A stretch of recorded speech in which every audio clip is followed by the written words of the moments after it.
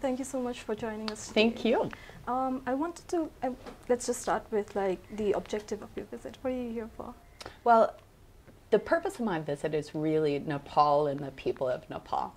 So in my job at the Department of State is we focus a lot on making sure that we understand what people around the world are thinking and feeling, not only about US policy, but about major issues of the day food security, climate change. And so, really, the whole purpose of coming to Nepal is to understand what Nepalis are thinking and feeling about the issues that impact all of us. Um, Nepal is such an important partner of the United States. So it was really critical that I came here first. This is um, part of a 12 day trip that I'm taking, and Nepal's my number one stop. Where are you going next? So I'm going to Dubai, where I'm going to be um, meeting with some of our colleagues there, talking to some regional media, and then I go to Uzbekistan and Kyrgyzstan afterwards. And then next month, I'm going to be traveling to sub-Saharan Africa and visiting a number of countries there. So in Nepal, um, U.S. government has always supported like democracy, and it's always run programs on youth, minorities, women, um, and lately in media as well. So could you talk a little about that? I think what we hear from the United States government is what the people of Nepal want. Um, we work in partnership with Nepal, and these are the issues that are important to the people here. They care about what youth are thinking. They care about the rights of women. They care about having a vibrant society. And so we're just happy to partner with Nepal and um, contribute really for a global ecosystem that makes life better for all of us. So US has had like a very uh, long diplomatic ties with Nepal. 75 years. Yep. but um, even till the very recent past, um, past, US looked to Nepal, into Nepal through the lens of India. Uh, we've seen that change now. Mm. Um, can you tell us a little bit more about the changing geopolitical dynamics? What I would say is that Nepal or any country in the world needs to be approached as a partner for itself. The United States doesn't look to Nepal as, as a country that we use in, in sort of a balance. We look to Nepal as a partner, as a critical country, and it's a country we want to learn and engage more about. Um, what you hear Secretary Blinken, Tony Blinken, my boss at the Department of State, say is that it's important that we listen as much as we talk. And that's, I think, increasingly what you're seeing in our relationship to Nepal and the people here. Let's talk a little about disinformation. Because mm. disinformation and democracy we've seen it around the world. We've seen it in the US, in, in our own country. And we've seen it here as well. So um, but a lot of the disinformation and misinformation um, it has a lot to do with the social media as well um, the headquarters of which are a lot of our in, is based in mm -hmm. the US so what can um, the US or how can the US work um, to combat disinformation without infringing on freedom of speech? Such a complex question. I'm so glad you raised it. And as you mentioned, the United States doesn't have an answer to all of these problems. We see misinformation and disinformation in countries around the world. Uh, just last month, I met with G7 ministers um, in Berlin, and without fail, every single one of those countries came to the table and they said, It is a problem in our country. So, so the question is, is how do we solve it?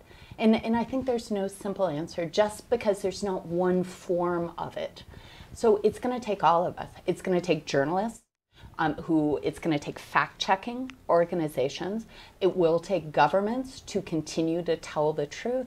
But most importantly, it's going to take private citizens because media literacy is a significant part of it you know, how do you know that you're sharing information that is true? You know, as a citizen, we have a right to know what the truth is, but we also have a responsibility that we have to share only true things. And if that's fact checking, if that's trusting a media, if that's making sure that before we hit share on a social media site that we know the fact, you know, that's on all of us. So it's really going to have to be a comprehensive solution. It's no easy answer. Is there anything that the US is doing that Nepal can learn from? Well, I would ask the same thing. Is there anything that Nepal is doing that the US can learn from? I think one of the things goes back to media literacy. Um, I've met activists right now in Nepal who are working on media literacy programs in schools. You know, in the United States, we don't do that evenly. Some school systems do, others don't. Is there a way that we can learn from Nepal and work together so our kids, who, as we know, are most active on social media, learn early what they can trust, and if they don't trust it, how to question it? what would you say is the role of mainstream media? Because you, you look at like communications as well. Yeah. So what do you think uh, is the role of mainstream media in the age of social media um, to safeguarding freedoms, especially in countries like Nepal with very short history of um, democracy? I, I could not feel stronger about this. Journalism is the front line of democracy. Journalists are the ones who tell the truth, who tell hard stories, who hold governments like mine to account. Um, I say this as someone who works for the government. Sometimes it's uncomfortable, but it's absolutely necessary. And I would say Nepal and the United States are not different in that. Journalists in Nepal, journalists in the United States have a responsibility to hold governments and corporations and individuals to account and make sure that citizens have the information they need so they can vote, so they can be active in their government. Uh, journalists are, are everything. I mean, they really are the ones who, who are on the front lines. What has been your assessment of, say, democracy and press freedom and um, the state of disinformation, misinformation in Nepal in regards to global context? I would say um, the people I have met um, during my visit, and I'll say it's too short, I look forward to coming back, um, have been wonderful. Just speaking very openly, sharing ideas, sharing ideas not only with us as partners, but among each other. I've been especially impressed with the youth, with young people, because they bring a passion to this. You know, you had said uh, Nepal is, is a young democracy. Well, so is the United States. You know, we're still learning too. And, and what I see in Nepal is that vibrancy. People want to do better. Um, and, and that's what I'm taking away from this. So today I went down and saw some of the cultural heritage sites that we've worked in partnership um, with the government of Nepal as well as private groups and saw the way that they were really enmeshed in society, that people were there, they were visiting. Um, and that was astonishing. It was beautiful to see. Not only the way the people of Nepal cherish their heritage, but they make it part of their daily life.